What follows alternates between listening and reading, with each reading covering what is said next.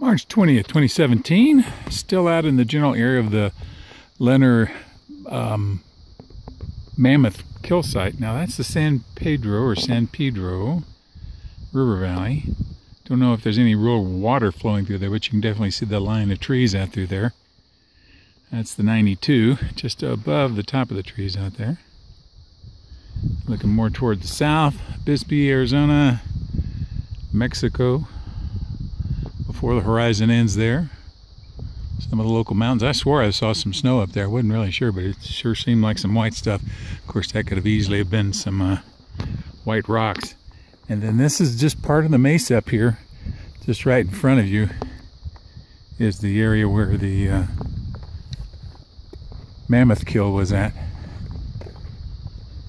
And this is uh, this is that hard rock, or at least hard surface that's underneath usually only within a foot or two of the surface out here. I believe it's called caliche. So I have somebody out here, as I heard a docent say, somebody asked you to go help them dig a ditch, you better bring a jackhammer because you get down a foot or two and you hit this stuff. And while this is a little bit of a truck trail, this is very easily just the hard surface rock. So it does take a while for this stuff to wear down. So here you go. This is just rock surface. And while it may not be completely hardened rock, you know, it might be uh, hardened mud. It's pretty hard to deal with. You can see the white car over there. That's the only spot where there's any kind of sign. If you come out here, uh, just a little bit uh, south and east of Sierra Vista, there are no signs marking it. Doesn't uh, no uh, things that says turn here, turn there cute little signs, uh, cairns, anything out here to market the spot other than actually once you actually get right to the spot, there are a couple little signs there. So for this particular spot, you really have to know where you're going. Otherwise, you're only going to find it by luck. And uh, other than the road being named L-E-H, uh, N-E-R, that's the only uh, hint that you might be here. I'm to put this on pause for a moment. All right, continuing on, the uh, other side of the actual dirt road, uh, the L-E-H-N-E-R dirt road, and a couple hundred yards away from where I just was, this is the actual only signs that you're to see.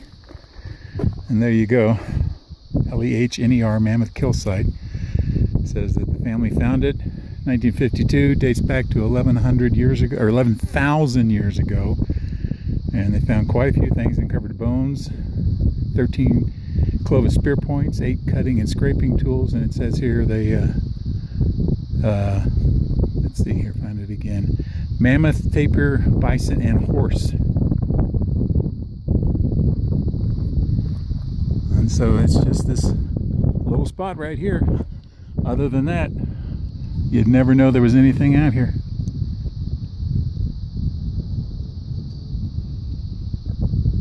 again. So they would come in, if it's a real kill site, they would sort of run them in from the river over there up this draw and then get them stuck in a corner or a little box.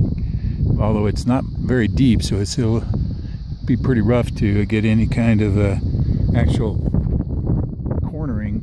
unless you just you know get a narrow thing but you know you get enough people on either side with spears you can do some damage all right, from the uh, Lehner Mammoth Kill Site, Travels with Phil, back to you.